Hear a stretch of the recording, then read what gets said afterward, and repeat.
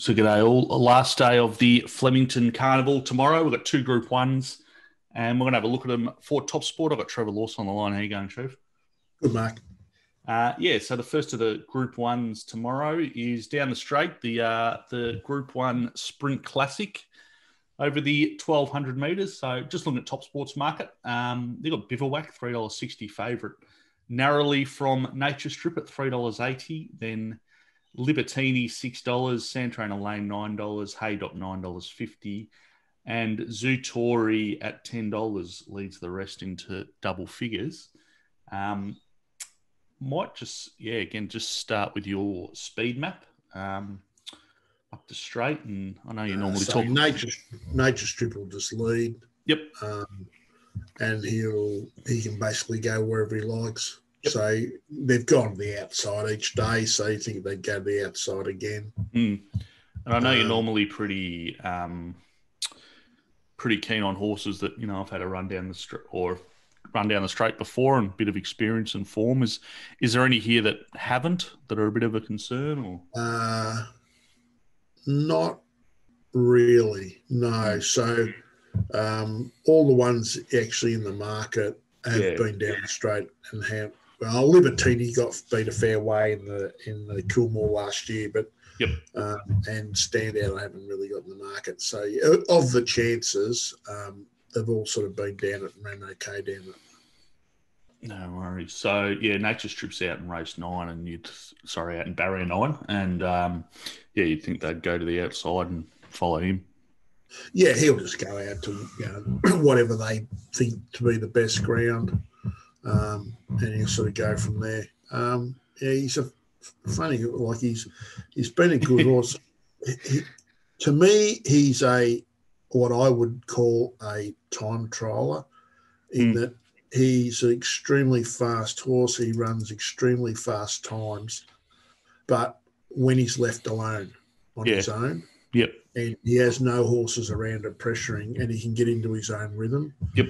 So um, and also his best runs, sort of on reflection, have been on tracks with given it. Yeah. Okay.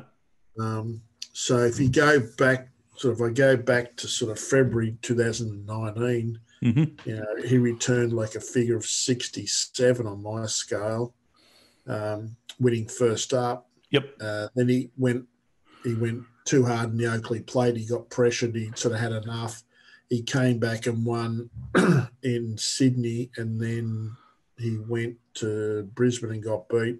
Mm. And then um, he won. He got beat first up uh, last spring in Sydney, and then he came and he won. Um, oh, is it the Manikato? He won uh, grand final eve night over yep. the thousand. Yeah, the the uh, Moir. Yeah, but he only just won. He was sort of narrow win. He sort of rated down off his best, but rated okay. Mm. Then he went back to Sydney for, and ran uh, fourth in the Everest. Yep. And then he came here for this race, yep. and they left him alone. Um, you know, on a class thing, he basically went out uh, four and a half lengths slower than the class par for that type of horse, you know, for a Group One horse, where most of his runs have been quick, mm. and then he ran home six lengths quicker. Mm. So they just couldn't get anywhere near him. Yeah, yeah, um, no, he smashed them. And he returned a figure like on my scale, 69 and a half. So basically outside Winx and outside uh, Humidor run behind Winx. It's the highest rating I've got in the database for a fair yeah. while. Yeah. Fair few years. Um, if he if he returned anywhere in that figure, they just wouldn't see which way he went. Yeah, yeah, absolutely. Um, and but again, that was on a good four track. And then mm. it resumed in the lightning, um, and was woeful behind um, Loving Gaby. He sort of basically punctured. Mm. Then he went back to Sydney and went over the thousand, but on a slow track. And then he won, uh, I think it's the TJ, uh, yep. on a heavy track. And then he resumed uh, first up here over a thousand, and he sort of had ball and muscle sort of bothering him a bit. And then second up, he was not. He had another horse up around him, and then last start, he they went really hard. They went seven lengths, quick, or leader went seven lengths quicker than the you know par for like that type of horse, which was Eduardo. It went, you know, they basically ran. Um, I think Tiger uh, Nature Strip ran its first 600 meters in like 33 and change. This is in the Everest. In the Everest, yeah. yeah. Um, so again, he didn't get his own way in front. Yeah. Um, but it's just hard to. It's like, what figure do you pick? and you know, has he had enough, or you know, and it's it, you know, the track will be, you know, will be good three by to, you know tomorrow. Yep. Um, so I basically put him in at 64 and a half, which is about three lengths off what he did on this race last year. And it's a bit better than what he did in the Everest. Yep. Uh, and I've got him five dollars, but equal favourite at five dollars. Yeah, well, he's, as I said, he, could, as I say, sorry, he, he could sure. win easily, or he could just punch her and run nowhere. Yeah. Well, it's it's probably a little bit hard to mark him. As you said, you're marking him a bit up on his Everest run. It's it's probably a bit hard to mark him, you know, anywhere else really. I mean, you could take a leap of faith and say he's going to run like he did last year, but it's yeah, yeah. yeah. All you can really the, do is go on form. Yeah, just that second last run, I thought he, You know, when he got beat four lengths, mm. uh, I thought he was a bit disappointing that day. You can forgive the Everest, you can forgive a couple others um, so, you know, yeah, I've basically rated him to what he did. Um, I've rated him well higher than what he did when he won the Moir. Yep. And rated him about what he did when he went over the thousand at Randwick.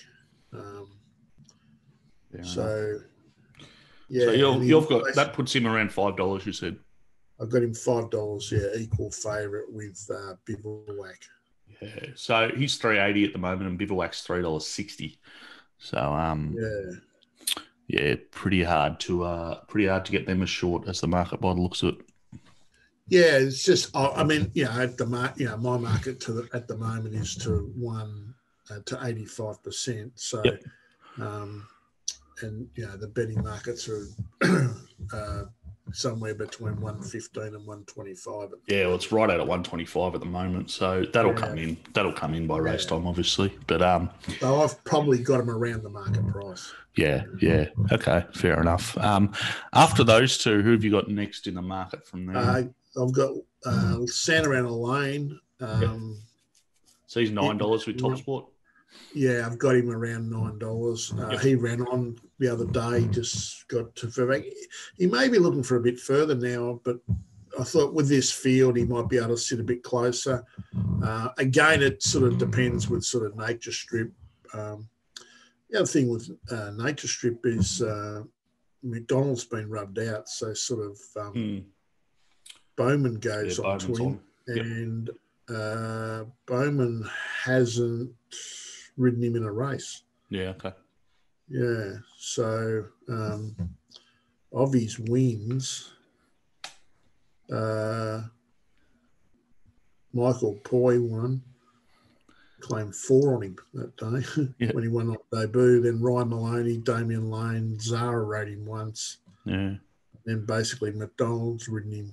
Uh, Bowman did trial him one day, but that's yeah. all. So, um, yeah, so I've got Santa Ana Lane second pick. Uh, it'll just be as long as he can stay in, you know, stay in touch. Yep.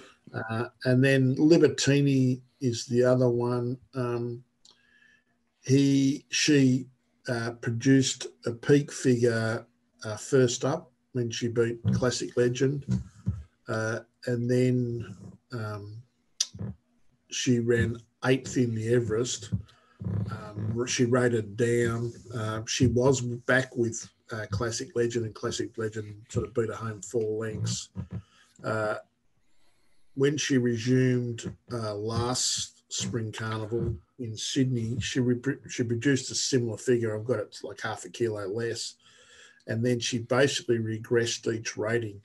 Um, so, um, and then up in the spring, she didn't come up. So I've sort of rated her in between basically what she did first up and what she did second up this time in, and I've got her around eleven dollars. Okay, so six dollars at the moment. Um, the other one I was going to ask you about was Hey Haydock. Won the Manikato, pretty weak Manikato, but um, won the Manikato and is nine dollars fifty for tomorrow. Yeah, so I sort of came off him. So he was just it was sort of put on for him. They went hard in front. Yep.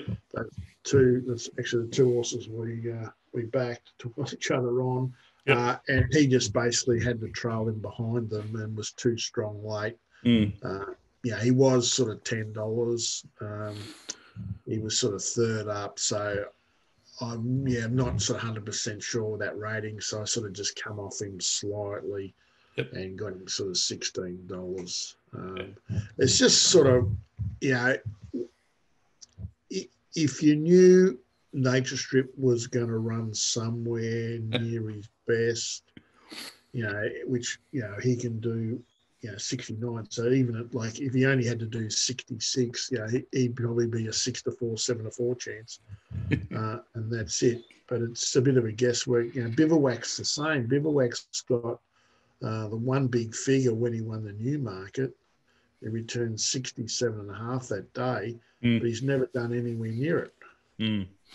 Um, he ran on okay the other day. So, yeah, it's, it's not really a, um, a betting race at the moment. Um, we'll sort of just see what happens with the market. It's just that big question about Nature Strip. If you uh, if you think he can go to his best or not. Yeah, well, I think you know Mark Roden used to have the three dollar thing in back in, you know, so he is over that price.